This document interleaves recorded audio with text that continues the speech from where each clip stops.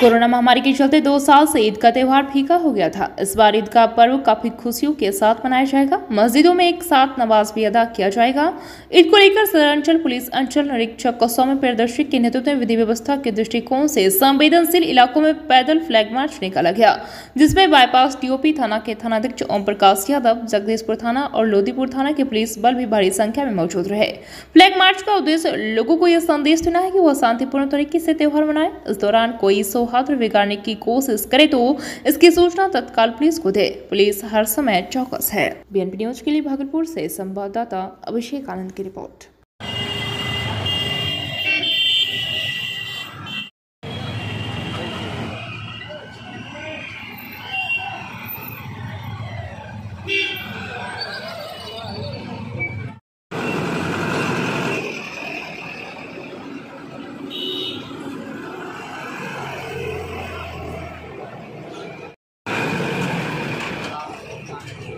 चीज़ को लेकर flag march Eid के अवसर पर ईद तक हम लोग डेली फ्लैग मार्च करने का निर्देश प्राप्त हुआ है। कल भी हम लोगों ने पूरे शहर में फ्लैग मार्च किया था। आज भी हम लोग फ्लैग मार्च करने वाले हैं।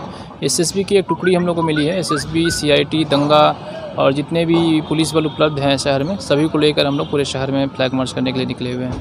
सर संवेदनशील इलाकों में किस तरह की संवेदनशील इलाके चिन्हित किए गए हैं। ततारपुर का इलाका है नाथनगर है मुजाहिदपुर है और हबीबपुर शाहजंगी का इलाका है। इन एरियाज़ को भी कवर किया जाएगा।